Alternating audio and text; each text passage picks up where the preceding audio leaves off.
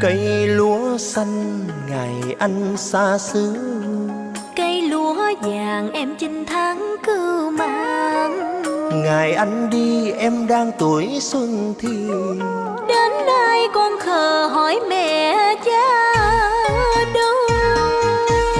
Xa bấy lâu lòng anh luôn nhớ. Em mãi chờ như cây lúa đợi mưa. Nhìn